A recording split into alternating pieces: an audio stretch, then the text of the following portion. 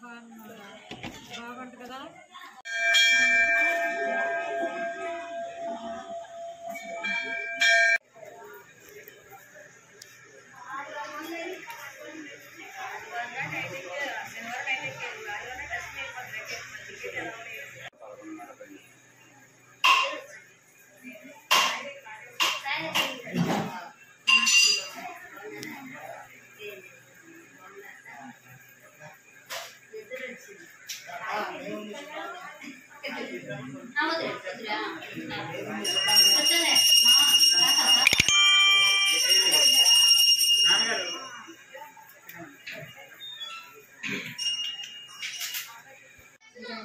వాగర్థావివ సంపృక్తౌ వాగర్థప్రతిపత్తయే జగతః పితరౌ వందే పార్వతీ పరమేశ్వర పరమేశ్వరాయ ఈ రోజున మనం చూసుకున్నట్లయితే కనుక కృష్ణా జిల్లా పెదపారిపూడి మండలం వానపాముల గ్రామం నందు శ్రీ గంగా పార్వతి సమేత శ్రీ రామలింగేశ్వర స్వామివారి యొక్క దేవస్థానం నందు శ్రీ మహాశివరాత్రి వేడుకలు అత్యంత వైభవోపేతంగా జరపబడుతున్నాయి ఈ రోజున మహాశివరాత్రి పర్వదినం అనగా లింగోద్భవ కాలం నందు స్వామివారికి విశేషముగా అభిషేకాది అర్చనలు జరుగుతున్నాయి.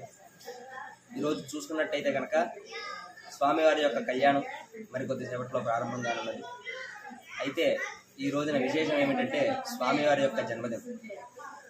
త్రిమూర్తులు కూడాను కలిసి లింగోద్భవ కాలంలో ఈ యొక్క అభిషేకాన్ని జరిపించి ఉన్నారు ఇదివరకు.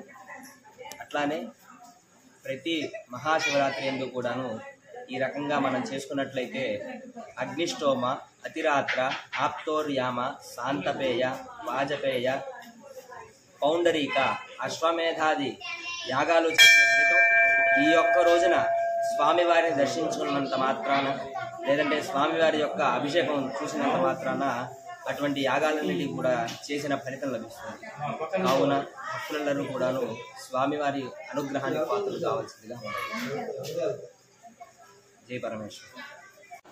స్వామివారి యొక్క జన్మదినం అనగా మహాశివరాత్రి అని మనకి పేరుకలో ఉన్నది. ఈ రోజున ఈ యొక్క లింగోద్భవ కాలం విశేషం ఏమిటంటే స్వామివారు అర్ధరాత్రి పన్నెండు గంటలకు ఉద్భవించి మహాకైలాస ప్రస్థానం నుండి భూలోకం వరకు కూడాను స్వామివారి యొక్క ప్రారబ్ధత అందరూ కూడాను వచ్చి ఉన్నది. కావున ఈ రోజున విశేషం స్వామివారి యొక్క జన్మదినం. ఈ రోజున స్వామివారి యొక్క అభిషేకం చేసుకున్నంత మాత్రాన లేదంటే స్వామివారి యొక్క కళ్యాణం చూసినంత మాత్రాననే స్వామివారి యొక్క అనుగ్రహం అందరికీ కలుగుతుంది.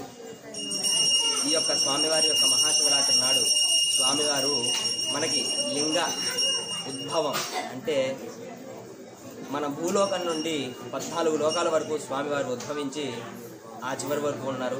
దాన్ని చూసుటకు ఆ యొక్క గోవు తర్వాత బ్రహ్మదేవుడు ఈ రకంగా గోవు ఆకాశం వరకు వెళ్ళి ఉన్నది. బ్రహ్మ భూలోకం వరకు వచ్చి స్వామివారిని చూసి ఉన్నారు. అట్లయితే గోవును చూడరాదు గోముఖం చూడరాదు అని ఎందుకంటారంటే గోవుని అదొక బ్రహ్మదేవుడు చెప్పి నేను లింగాన్ని చూశానని చెప్పి నువ్వు చెప్పాలి నేను పానవట్టం చూశానని చెప్పి నేను చెప్తానని చెప్పి అబద్ధం చెప్పమన్నారు. అది యొక్క విశేషం ఏమిటంటే బ్రహ్మదేవుడికి ఈ యొక్క భూలోకం నందు ఎక్కడా కూడాను దేవాలయం లేదు. ఆయన అబద్ధం చెప్పారు కాబట్టి అది ఒక విష్ణుమూర్తి ఆయనకి దేవతార్చన లేకుండా చేశారు.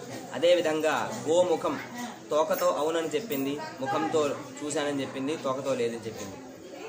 అందువల్ల గోముఖం చూడరాదు గోపృష్ఠాన్ని అర్చించాలి అని చెప్పి ఈ యొక్క లింగోద్భవ కాలంలో స్వామివారు అనుగ్రహం ఇచ్చారు. ఈ రకంగా ఈ రోజున ఈ పర్వదినాన స్వామివారిని అర్చించినట్టయితే స్వామివారి యొక్క అనుగ్రహం అందరికీ కలుగుతుంది.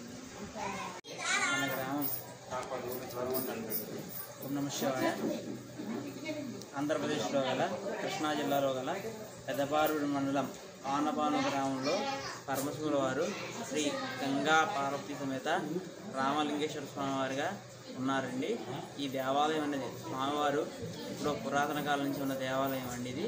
స్వామివారు చాలా వంద సంవత్సరాల పైన నుంచి ఉన్న స్వామివారుగా మనకి ఇక్కడ ప్రతీతి ఉన్నది. కావున తదుపరి తదుపరి.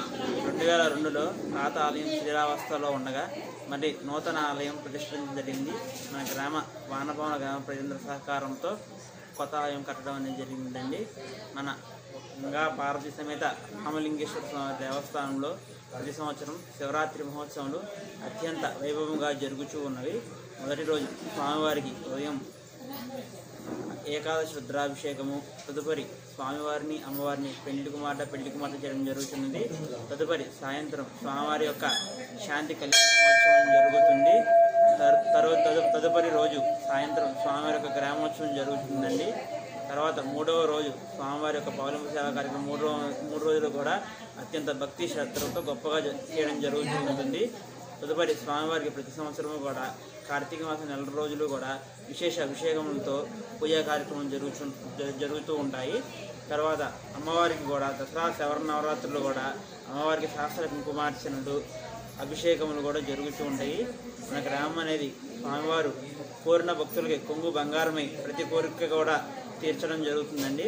కావున అందరూ కూడా స్వామివారి యొక్క దర్శనం చేసుకుని మీ యొక్క కోరికలు కోరుకుని స్వామివారి యొక్క కటా కటాక్షములు పొందవలసిందిగా కోరుతున్నాము. ఓం నమ శివాయ.